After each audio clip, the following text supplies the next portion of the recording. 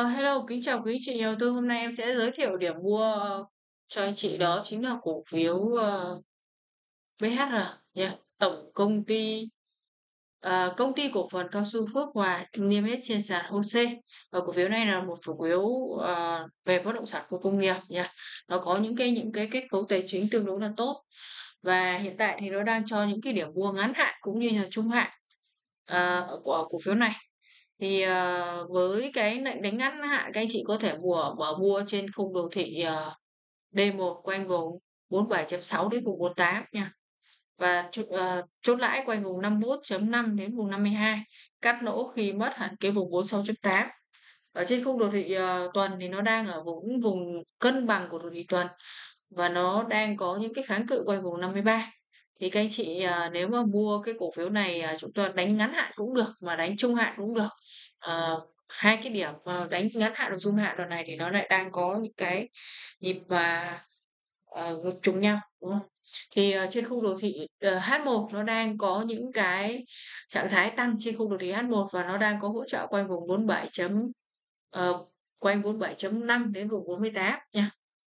Trên khung đồ thị ngày thì nó đang vào một xu hướng tăng và trên khung độ tuần nó cũng đang vào một xu hướng tăng. Tuy nhiên là trên khung độ tuần nó vẫn đang ở những cái vùng cân bằng của độ tuần.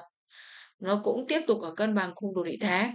Nó cũng ở cân bằng vùng cân bằng của khung đồ thị ngày luôn. Chúng ta có thể mở mua quanh ờ, uh, 47.6 đến vùng 48, chốt lời 51.5 đến vùng 52 và cắt lỗ khi mất vùng 6.8. Đây là một cổ phiếu về nhóm ngành bất động sản khu công nghiệp tương đối là tích cực uh, nó có những cái kết cấu tài chính tương đối là tốt nha anh chị. Kết cấu tài chính tương đối là tốt, bên trên em mới có 7.32 và EBIT cơ bản thì là 6.57. Ngành nghề của nó chính là trồng cao cây cao su, hoạt động dịch vụ công nghiệp, khai thác chế biến mủ cao su, bán buôn phân bón, bán lẻ xăng dầu, mua bán gỗ cao su. Nói tóm lại là nó là một cổ phiếu về bất động sản khu công nghiệp, có những cái kết cấu tài chính tương đối là tốt. Và đoạn này thì à, nếu mà các anh chị nào mà đánh trung hạn thì chúng ta có khi mà lên đến quanh cái vùng 52 chúng ta có thể bán 2 phần 3 đi và giữ 1 phần 2 đấy nhá Còn nếu anh chị nào muốn à, đánh trung hạn mà chưa biết đi vốn thế nào thì có thể liên hệ với em nha. Còn nếu mà ngắn hạn thì chúng ta lên được quanh 51.5 đến vùng 52 chúng ta có thể chốt lại nha. Và cắt lỗ khi mất 46.8, vùng mua đó chính là 47 47.6 đến vùng 48. Rồi đấy là một cổ phiếu về bất động sản khu công nghiệp và tương đối là uh, tốt.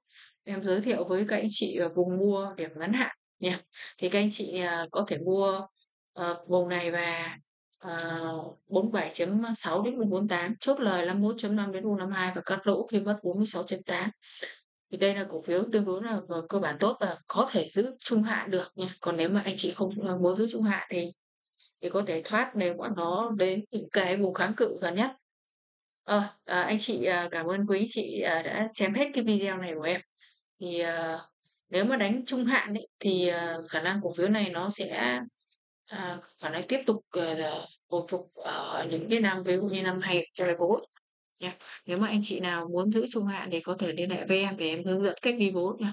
Cảm ơn quý anh chị đã xem cái video này của em và các anh chị hãy thả ấn cho em xin một like và thả những quả tim ở phía dưới để tăng cái lực tương tác. Anh chị nào chưa có người tư vấn hỗ trợ đầu tư hoặc đồng hành trên thị trường tài chính có thể liên hệ với em mở tài khoản hoặc chuyển ID về em em sẽ hỗ trợ nha.